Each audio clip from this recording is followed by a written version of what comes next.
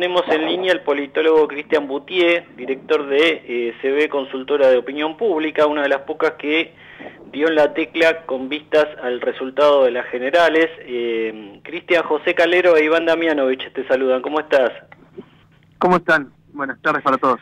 Bien, bueno, eh, primero nos sorprendió un poco mm, la, la dureza, si querés, o bueno, los términos empleados hoy por Mauricio Macri, con esto de decir salgamos a poner los cojones, eh, un término eh, a, la española, lo tenía Mariano Rajoy al lado en la exposición, eh, pero bueno, da, la idea de que se está, está por lo menos el expresidente tratando de aglomerar un, un, un, un gran espacio antiperonista, ¿no?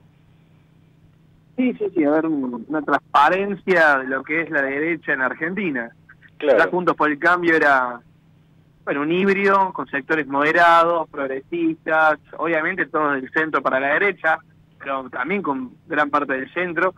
Bueno, ahora básicamente vamos a poder identificar a la derecha argentina con, con la unión de todos estos referentes. Bueno, la izquierda eh, también sorprendió un poco, si bien es, eh, quedó reducida su mínima expresión en estas elecciones, eh, Cristian, sorprendió un poco Miriam Breckman, ¿no? Porque eh, en lugar de, como se esperaba, este, salir a, de alguna manera, decir, bueno, el mal menor es masa, apoyémoslo, eh, llamó a que cada uno haga lo que quiera y tuvo también duras críticas, no solo a Milei, al que ya venía criticando muy fuerte, y también a todo el espacio de, de lo que alguna vez fue junto por el cambio, ya me parece que no lo es, sino también contra Massa, ¿no?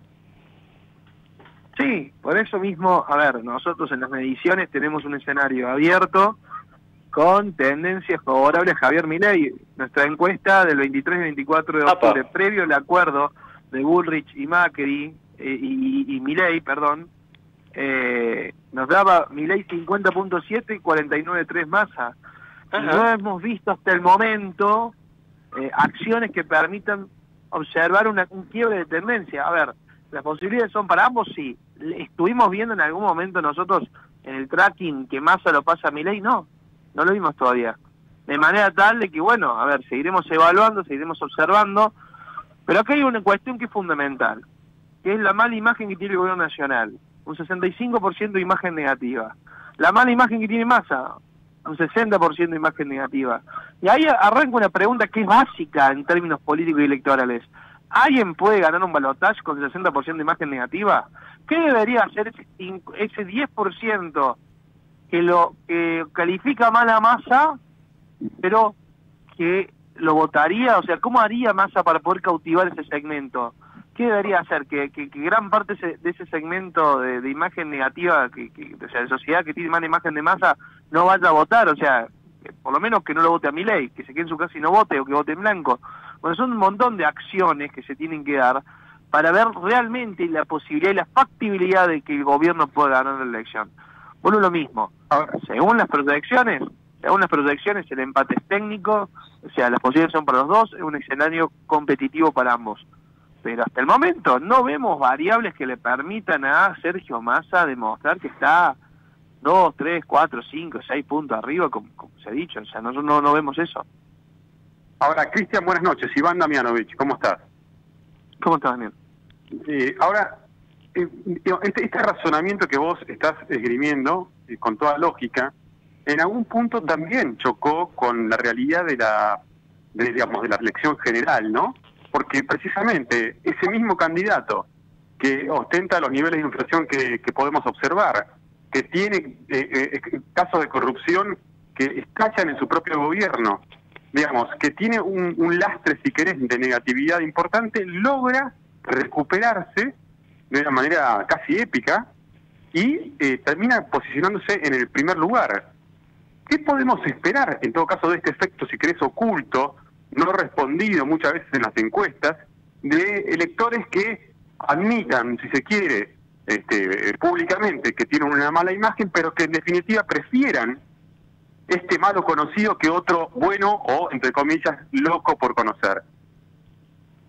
Bueno, está bueno el enfoque. Yo creo que habría que analizar el triunfo de Sergio Massa de dos perspectivas, el vaso medio lleno o medio vacío. Si vos el vaso medio lleno, comparto 100% con lo que decís, ganó la elección con un 36%, ganó la elección recuperándose y básicamente demostrando que el peronismo mantiene una base, entendiendo que la área del frente estaba Frankenstein y, Drácula, ¿no? O sea, Bullrich y, y Milley para el centro, centro izquierda, eran el mal mayor, con lo cual más haciendo el mal menor, logró ganar la elección. Vaso medio lleno. Vaso medio vacío. Perdieron 11 puntos comparado al 2019. Los niveles de imagen negativa justamente limitaron a que el mejor resultado que podía hacer Unión por la Patria, con los intendentes movilizando la, boleta en el conurbano, porque recordemos que se votaba gobernador e intendente, principalmente intendente en la provincia, porque los intendentes son los que tienen la capacidad de territorio, los que realmente conocen el territorio. Cuando los intendentes no están, se nota su ausencia, o sea, el aparato no es el mismo. Entonces, con la boleta de los intendentes, eh, con la con el, el, miedo que se podía gestar de que Milei te gane en primera vuelta, recuperando esa identidad del oficialismo, del peronismo, bueno, lograste un 36%, tu techo. O sea que todavía te faltan 14 puntos para llegar al 50. Entonces tenemos un tercio de los argentinos que tienen que definir su mal menor.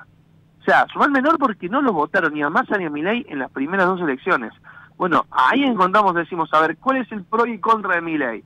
Y claramente la contra de mi ley es que no tiene un aparato, le van a faltar fiscales, que, ah, bueno, ahora ha subsanado bastante, pero hasta, hasta las elecciones generales venía cometiendo errores no forzados uno tras otro, con declaraciones totalmente desafortunadas. Eh, eh, pero el pro de mi ley es la mala imagen del gobierno nacional. Y esto ya se ha visto en otras elecciones.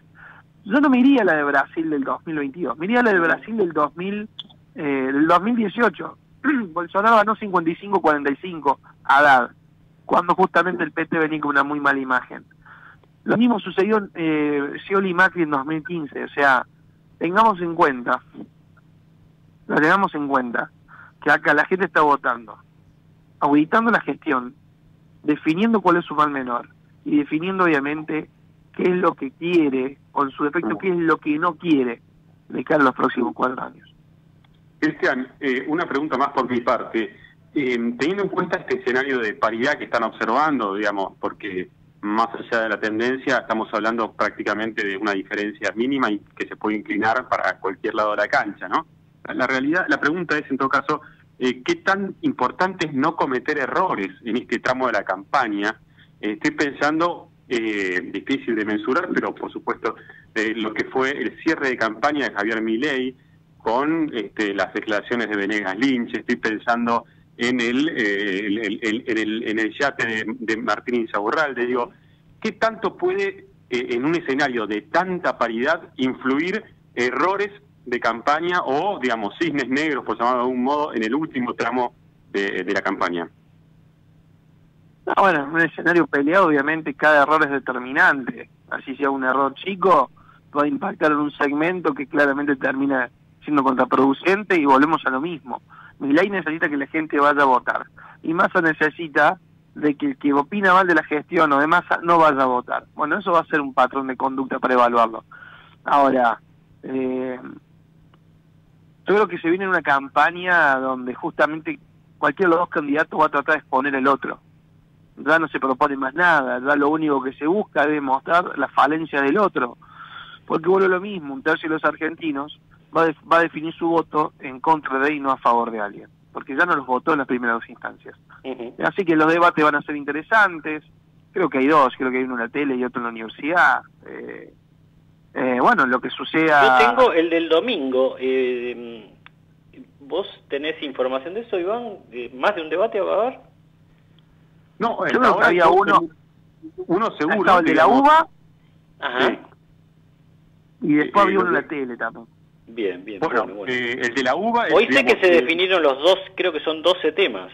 ¿no?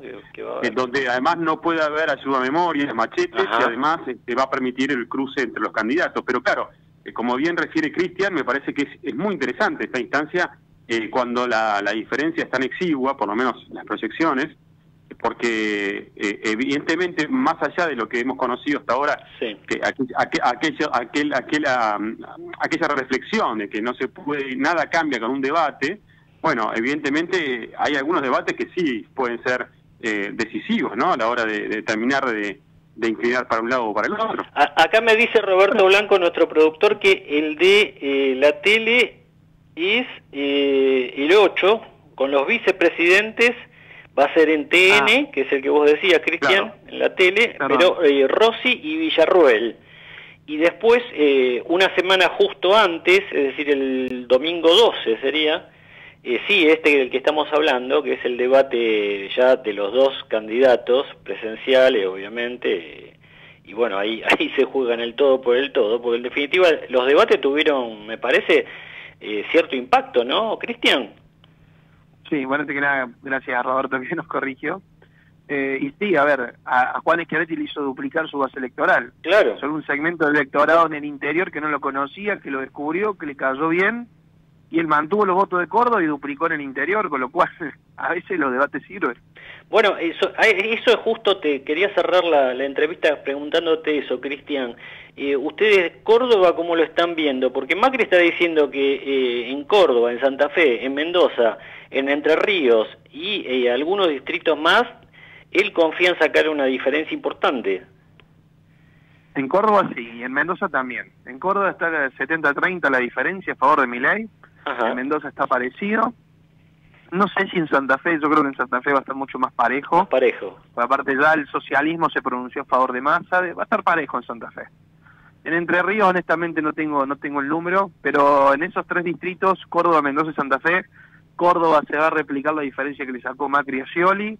Lo que pasa es que no es lo mismo con un 80% de participación que con un 65 o un 70. Nosotros tenemos una proyección de participación del 72% en Córdoba, bajando 4 puntos comparado a la general y bajando justamente 9 puntos eh, comparado a la, a la balotaje 2015. ¿Incluye el feriado del, el feriado del lunes que quedó finalmente el, 20 o, hay otros fenómenos?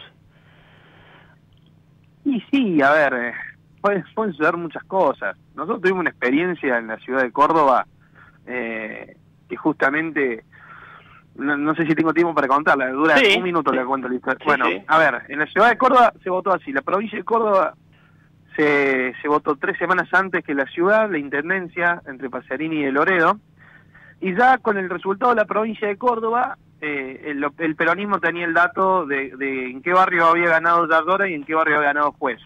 En los, bueno, días antes de la elección de, intendente se larga una solicitud en el diario de que el Tribunal Municipal Electoral no iba a sancionar a quien no vaya a votar. Y se hizo una campaña también de comunicación, de anuncios geosegmentados, para que los barrios donde había ganado juez, la gente no vaya a votar, le, le mandaba lo mismo. El Tribunal Superior Electoral no va a sancionar a quien no vaya a votar. Y movilizaron todo el aparato en los barrios donde había ganado Dardora. Bueno, ganó el peronismo en una elección que estaba absolutamente peleada, ganó el peronismo por siete puntos. Bajó la participación en los barrios donde había ganado juez. Luis Juez llamó a votar a mi ley. Me sorprendió un poco, pero mismo, a ver, lo que pasa es que, a ver, teniendo los números de Córdoba, eh, el propio Schiaretti también eh, está ahí evaluando qué hace, pero el Córdoba ya definió que su límite es masa, su límite es el kirchnerismo. Entonces, ley saca 70-30 en Córdoba porque no, están votando, no están votando a favor de mi ley, estamos votando en contra del kirchnerismo. Claro, claro. bueno, es Córdoba. Mendoza va a tener una situación muy, muy parecida y yo te vuelvo a decir, Santa Fe va a estar parejo y creo yo que el plus valor de Massa es la provincia de Buenos Aires donde le está sacando más de 10 puntos de ventaja a Javier Milei. Más de 10 puntos de ventaja en la provincia de Buenos Aires le estaría ganando también en la ciudad de Buenos Aires, por lo menos en la primera encuesta, el 23 y 24, más a, a Milei. Hay que ver ahora con el apoyo de Patricia Burrich si esto se da vuelta, porque estaba muy parejo.